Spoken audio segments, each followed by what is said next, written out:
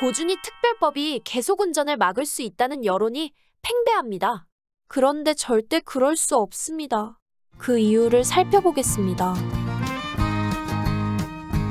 21대 국회에서 자동 폐기됐던 고준위 특별법이 22대 국회가 개원한 지 얼마 안 됐지만 여야가 5개 법안을 발의하면서 연속성을 가지게 됐습니다. 다행스러운 일입니다. 그런데 문제가 뭘까요? 고준위 특별법과 계속운전을 연결시킨 여론이 문제입니다. 고준위 특별법이 민주당 주장대로 통과되면 계속운전 막을 수 있을까요? 결론은 절대 그렇지 않습니다. 여론이 대립각을 만든 건지 정치가 그렇게 만든 건지 알 수는 없지만 고준위 특별법은 계속운전을 절대 막을 수 없습니다. 이번 영상의 결론이라고 보시면 되겠습니다. 이번 영상은 이번에 발의된 고준위 특별법 주요 내용을 살펴보고 고준위 특별법이 계속 운전을 막을 수 없는 이유, 그 이유를 설명드리겠습니다. 그럼 본격적인 영상 시작합니다.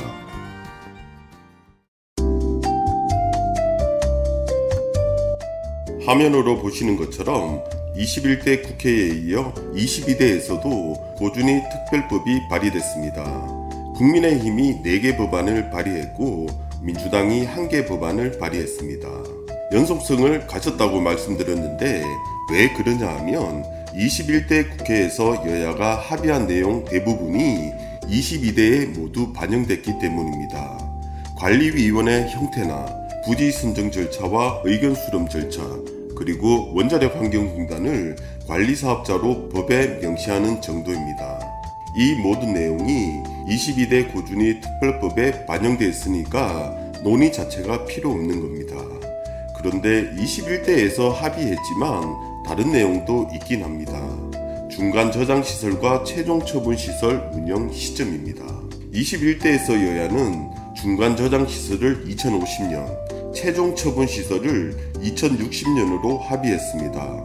그런데 22대에서 정동만 법안과 김성환 법안만 반영됐고 나머지는 조금씩 시점이 다릅니다. 화면으로 보이시죠? 이게 중요하긴 해도 조금만 논의하면 큰 걸림돌은 안 될 겁니다. 그런데 여전히 논란이 될 만한 내용이 있습니다. 21대에서 평행선을 달렸던 내용인데 원전 부지에 건설하는 임시 저장 시설인 건식 저장 시설입니다.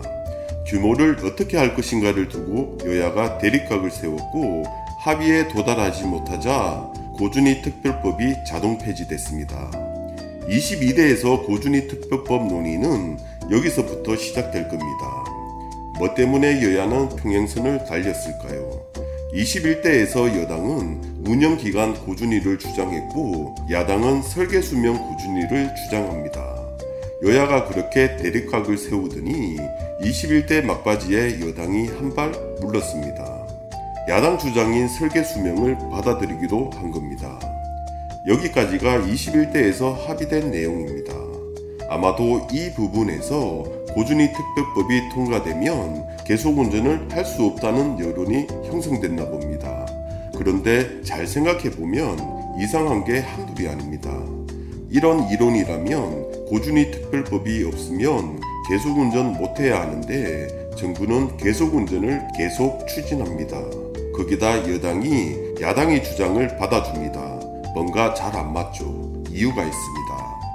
고준위 특별법과 계속운전은 다른 문제고 고준위 특별법으로 계속운전을 막을 수 없기 때문입니다. 왜 그런지를 지금부터 설명드리겠습니다. 원전 부지의 임시 저장 시설은 섭식 저장 시설과 건식 저장 시설이 있습니다. 섭식 저장 시설은 화면으로 보시는 것처럼 이렇게 생겼고 건식 저장 시설은 이렇게 생겼습니다. 먼저 섭식 저장 시설을 살펴보면 원전이 건설될 때 함께 건설됩니다. 대략 1년 주기로 연료를 교체하는데 이때 나온 고준위를 보관하는 곳이죠. 예전에 지어진 섭식 저장 시설은 보통 20년치 고준위를 저장하도록 건설되어 있습니다. 물론 최근에 건설된 원전은 설계 수명이 60년이고 섭식 저장 시설도 설계 수명을 기준으로 건설됐습니다. 우리가 고준위 방패물을 물에 담가두는 이유는 방사능도 방사능이지만 냉각 때문에 그런 겁니다. 그런데 시간이 지나면 냉각이 필요 없는 시점이 옵니다. 그때 건식 저장 시설 보관이 가능하다고 보시면 됩니다. 계속 운전을 안 하더라도 건식 저장 시설을 건설해야 하는 이유는 여기에 있다고 보시면 됩니다. 예전에 건설된 습식 저장 시설은 20년치만 보관할 수 있기 때문이죠. 그렇기 때문에 설계 수명까지만 운영하더라도 건식 저장 시설 건설은 불가피한 겁니다. 여야가 이런 건식 저장 시설 규모를 어떻게 할 것인가를 두고 대립각을 세웠던 겁니다. 그러면 본론으로 돌아와서 건식 저장 시설 규모를 설계 수명으로 정하자는 야당 주장을 여당이 받아들이는데 왜 그랬을까요? 원전 부지에 습식 저장 시설이 있어서 계속 운전이 가능합니다. 야당 주장대로 설계 수명으로 고준위 특별법이 통과됐다고 해보겠습니다. 과거 설계 수명 40년으로 건설된 원전 기준으로 살펴보면 단순 계산으로 건식 저장 시설 40년치와 섭식 저장 시설 20년치를 더하면 원전 부지에 보관할 수 있는 고준위는 60년치가 되는 겁니다. 그래서 야당 주장대로 고준위 특별법이 통과되더라도 지금처럼 10년 단위로 계속 운전이 가능하니까 최소한 두 번은 가능하다고 보시면 됩니다. 이해되시죠? 요즘에 건설된 원전의 설계 수명이 60년인데 섭식 저장 시설도 60년치를 저장할 수 있도록 건설됩니다. 그러면 계산되시죠? 고준위 특별법은 여론과 달리 계속 운전과 아무런 상관이 없었던 겁니다. 그러면 22대 국회에서 발의된 고준위 특별법 살펴보겠습니다.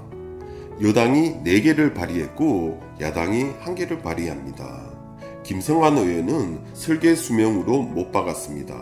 21대 주장을 그대로 반영한 겁니다. 그런데 여당 법안에 변화가 있습니다. 21대에서 한 발 물러섰다고 말씀드렸죠. 이인선 의원은 이 조항을 아예 빼버립니다. 별 의미 없다는 어깨 주장을 반영했다고 보시면 됩니다.